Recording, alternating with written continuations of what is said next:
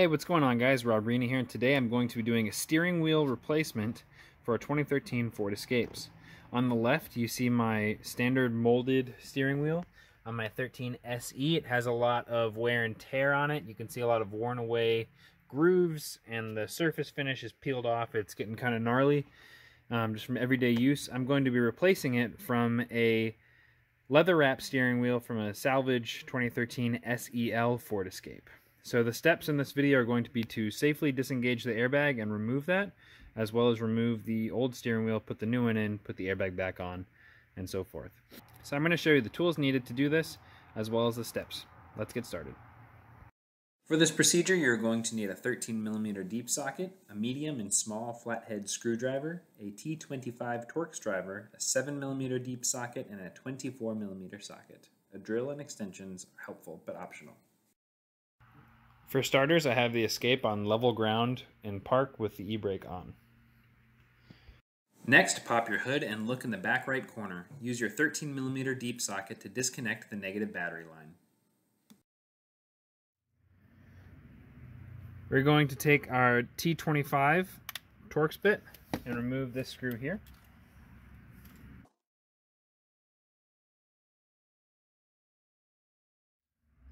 All right, so that is the small T25 Torx screw.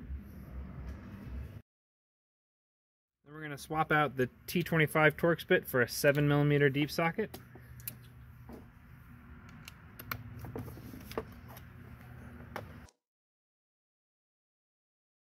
And here is our small 7 millimeter screw. We should now be able to remove this bottom cover once we pop off two snaps right behind your steering wheel. Now with our two screws out, we want to pull the bottom cover off. What we need to do first though is turn our wheel 90 degrees to the right and we're going to release this snap right here and do the same on the other side. All right, we're going to go this way.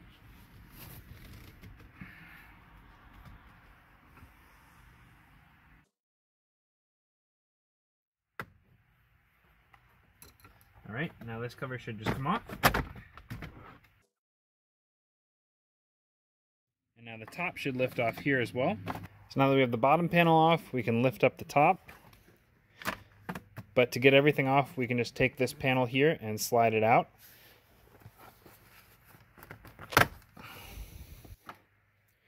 That comes out pretty easily. You can lift all this away. So now comes the tricky part of removing the airbag mechanically from the steering wheel assembly. So with all of your shrouding off and the steering wheel column down and out as far as possible, um, I'm going to look in the back of the steering wheel itself.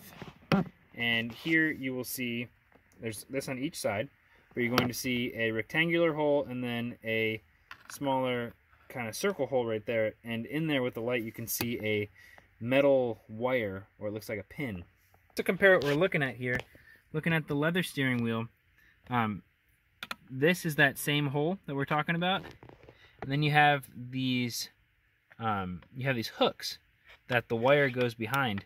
So what we're doing is coming from the other side, but we want to pry the wire away from behind this hook to dis disengage that side of the airbag. We're going to be doing it on this side and this side. So So very quickly, I want to show you what you're working with when you're looking in the back of that wheel. This is the back of the airbag, and here is where the hook comes around, and this is the one of the two pins. You have one here, and you have one here, and each of these holes, right there and right here, are where you poke the screwdriver in through the back of the steering wheel column. Now when you push your screwdriver in and you move that down, you move your pin away from the hook. That's the motion that you're going for when you are reaching in the back of that steering column. It's kind of blind when you're doing it and you don't know really what you're trying to do, but you're trying to get a screwdriver in and pry it down so it comes away and around from the hook to release your airbag.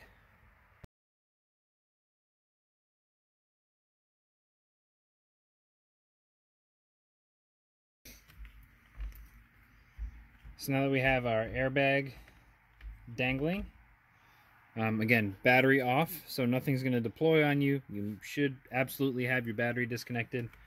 We're going to disconnect the screen connector here.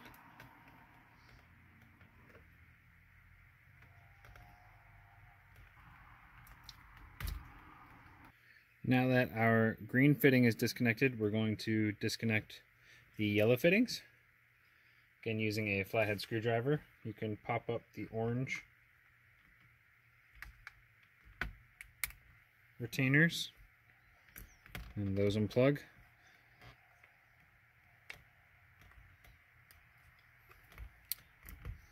And just so you know, you have a blue one and a yellow one, which go into the blue and yellow terminals on the airbag itself. So, there is your disconnected airbag.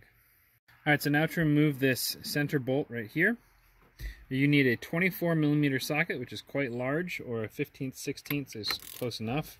Um, you really should get the 24 though.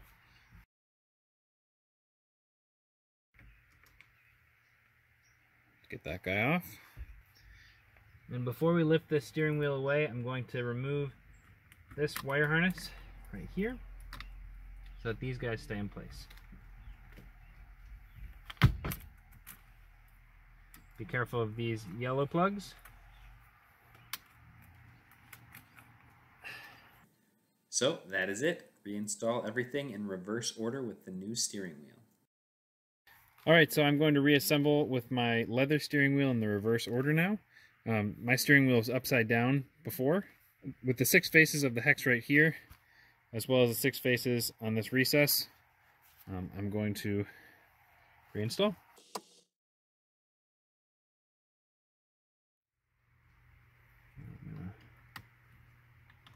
Plug that guy in.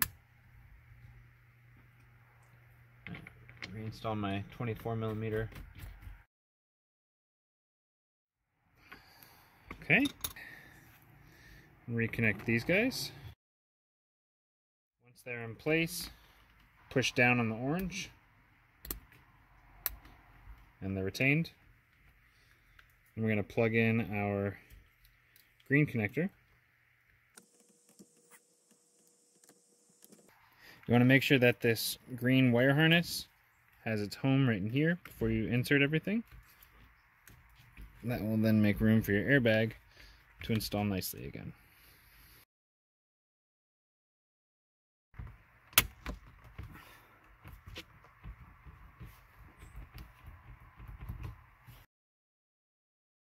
So now before we button everything back up in terms of the shrouds, I'm going to check all the functions. Um, horn, that's good. Um, cruise control buttons. The cruise control prompts go there. Great. Uh, the infotainment system. Information for MyFord Touch. Go to home. Prompts. Okay, that works. Um, my media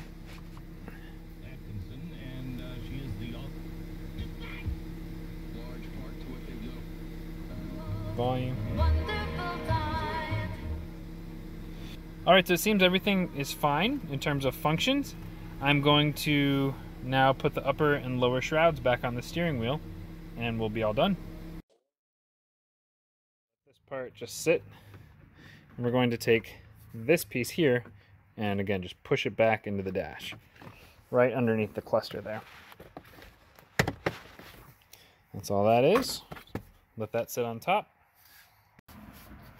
Now we got our lower shroud. We want to tuck it back in there. You get that nice seam there. Again, hook in, come up, snap to get that seam. So now we're going to reinstall our 7 millimeter screw in the bottom here.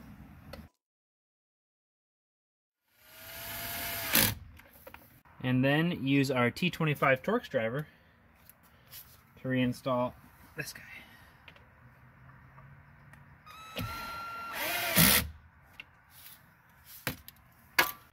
All right, everyone. Well, that about wraps up this procedure for swapping out the old chewed up standard molded steering wheel and my SE for this new upgrade of the leather wrap steering wheel from the salvaged SEL. Everything has been tested to work. Everything's tightened down. I hope this was helpful. If it was, please like it. Please share it and subscribe to the channel if you haven't already. Let us know if you have any questions and let us know if there are any videos that we don't have up that you would like to see done. We'll talk to you next time. Thanks for watching How to Escape.